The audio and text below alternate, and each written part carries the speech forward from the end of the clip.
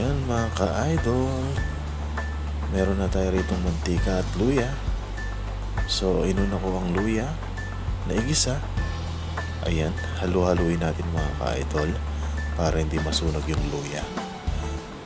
At tapos nito, isusunod ko muna yung talong. Hiwain muna natin yung talong. At syempre mamagigin natin. Ayan mga ka-idol. Nahiwa na pahaba ang ating eggplant. Ayan po ay talong sa Tagalog. Ayan. Kung napapansin nyo mga ka-idol, maraming buto ang talong dito sa Qatar. Ayan, ilalagay na po natin. Ayan. Kung napansin nyo, inuna ko yung talong. Kasi mas gusto ko yung medyo malambot kapag ako ay nagluluto ng gata. Gusto ko talaga yung malambot as in malambot yung pagkakaluto mga ka-idol. Para sa akin kasi mas, mas, mas masarap kasi ang talong na malambot. Ayan mga ka-idol kung napapansin nyo. Yung luya, sibuyas, bawang, at eggplant, talong sa Tagalog ay inuna ko muna nalutuin. At syempre, lalagyan natin ng konting magic sarap, mga kalodi. Konti lang naman. Para mas lalong sumarap ang ating ginataang sibas. Ayan mga kalodi, kung napapansin nyo. Yan mga ka-idol, ilalagay na po natin ng dalawang pirasong ceiling green para medyo may anghang ang ating ginataang sibas. Ayan, kung napapansin nyo mga ka-idol, ilalagay na rin natin dito ang coconut milk. Ang coconut milk na napaka-creamy. Dahil wala pong nyug dito, kaya coconut milk na lang ang ating ilalagay. Mga ka-idol, pares lang naman yun. Ayan, habang uh, pinapakulo natin siya ng konti para lumambot itong ating talong na nailagay.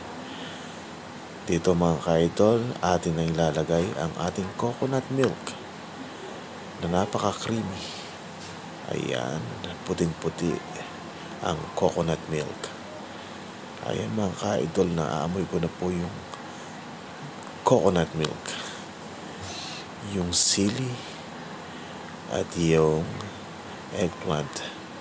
So mga ka-idol, ako inuna ko muna itong mga to, mga gulay, uh, bago natin yung sunod yung ano, sibas. Ayan kung nakita nyo mga ka-idol, linagyan natin ng konting patis para mas lalong luminamnam ang ating ginataang sibas. Nasa inyo na mga ka-idol kung gaano karaming patis ang ilalagay nyo. Ayan mga kalodi, kumukulo na ang ating ginataang sibas. At dito ilalagay na natin yung sibas, yung isda Ayan, mga ka-idol. Kitang-kita nyo naman, ang isda ay press na press. Ayan. Naku. Sigurado ay patay na naman ang kaning lamig dito, mga ka-idol. Ayan. Haluin natin ng konti para maglasa ng gusto yung ating gata doon sa isda. Ayan mga ka-idol. Halo-haloin lang natin. Kasi kapag ginuna mo ang isda, hindi mo na mahalo yan kasi madudurog.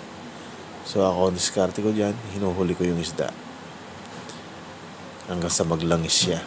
Kapag kain naglangis na siyang konti, ay tapos na yung usapan. Kain na naman ka-idol. Tingnan nyo yung talong ko, alis balat na lang sa sobrang lambot. Mas gusto ko kasi yung mga ganyang klaseng luto pagdating sa kata. Yung talong ay turog sa sobrang lambot.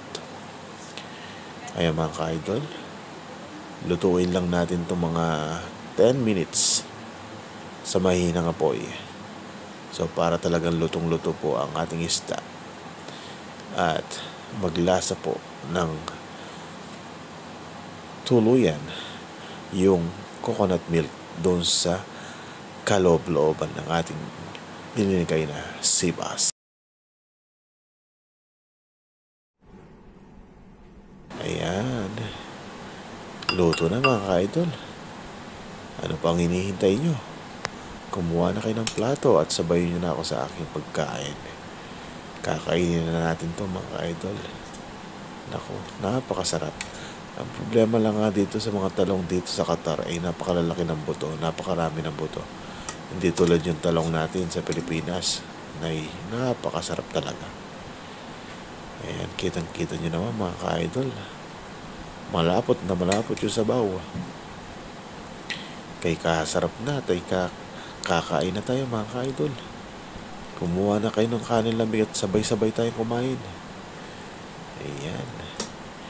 Nga pala mga ka-idol, maraming maraming salamat sa inyong lahat sa pagsuporta sa aking channel.